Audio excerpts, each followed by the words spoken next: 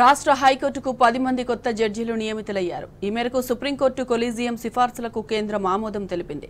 ఆమోదం కోసం రాష్ట్రపతి కార్యాలయానికి పంపింది. నేడో రేపు రాష్ట్రపతి కోవింద్ ఆమోదముద్ర పడగానే గిజిట్ వెలువడనుంది.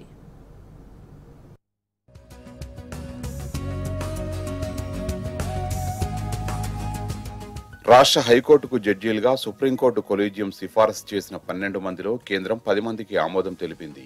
ఆ పది మంది పేర్లను ఆమోదం కోసం రాష్ట్రపతికి నివేదించింది. ఒకటి రెండు రోజుల్లో రాష్ట్రపతి ఆమోదం తెలుపనుండగా ఈ నెల ఇరవై మూడున కొత్త న్యాయమూర్తులు హైకోర్టు ఆవరణలో ఉదయం పదిన్నర గంటలకు ప్రమాణం చేయనున్నారు. కొత్తగా నియమితులైన జడ్జీలలో ఐదుగురు న్యాయాధికారులు కాగా ఐదుగురు న్యాయవాదులు ఉన్నారు. ఈ పది మందిలో నలుగురు మహిళలు. దీంతో రాష్ట్ర హైకోర్టులో మహిళా న్యాయమూర్తుల సంఖ్య పదికి అంటే మూడో వంతుకు చేరనుంది. తెలంగాణ హైకోర్టు చరిత్రలో ఒకేసారి పది మంది జడ్జీలు నియమితులు కావడం ఇదే మొదటిసారి. హైకోర్టు జడ్జీలుగా పదోన్నతి పొందిన న్యాయాధికారుల్లో VAT tribunal chairperson G. Anupama Chakravarthi Karimnagar జిల్లా court chief judge MG Priyadarshini Hyderabad principal special judge Sambasiva Naidu న్యాయశాఖ కార్యదర్శి A. Santosh Reddy high court registrar general doctor D. Nagarjuna ఉన్నారు. జడ్జీలుగా నియమితులైన న్యాయవాదుల్లో కాసోజు సురేందర్ సూర్యపల్లి నంద ముమ్మినేని సుధీర్ కుమార్ జువ్వాడి శ్రీదేవి నాచరాజు వెంకట శ్రవణ్ కుమార్ ఉన్నారు.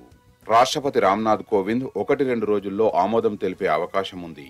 రాష్ట్రపతి ఆమోదం తర్వాత కేంద్ర న్యాయశాఖ గెజిట్ నోటిఫికేషన్ జారీ చేయనుంది. ఆ తర్వాత బుధవారం హైకోర్టు ప్రధాన న్యాయమూర్తి జస్టిస్ సతీష్ చంద్ర శర్మ వారితో ప్రమాణం చేయించనున్నారని హైకోర్టు రిజిస్ట్రార్ తెలిపారు.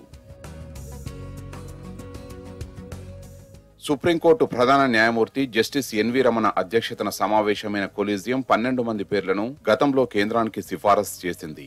వీరిలో ఇద్దరు న్యాయవాదులు చాడ విజయభాస్కర్ రెడ్డి మీర్జా సైఫీయుల్లా బేగ్ పేర్లను కేంద్రం ఆమోదించలేదు. వీరిలో ఒకరి వయసు చాలా తక్కువ కావడం ఒక కారణమని చెబుతున్నారు హైకోర్టులో ప్రస్తుతం సీజేతో కలిపి పంతొమ్మిది మంది న్యాయమూర్తులు ఉన్నారు. కొత్త వారి రాకతో ఈ సంఖ్య ఇరవై తొమ్మిదికి పెరగనుంది. రాష్ట్ర హైకోర్టులో మొత్తం న్యాయమూర్తుల సంఖ్యను ఇటీవలే ముప్పై రెండు నుంచి నలభై రెండుకు పెంచుతూ సుప్రీంకోర్టు ఉత్తర్వులు జారీ చేసిన విషయం విదితమే. కాగా ఇంకా పదమూడు పోస్టులు ఖాళీగా ఉంటాయి.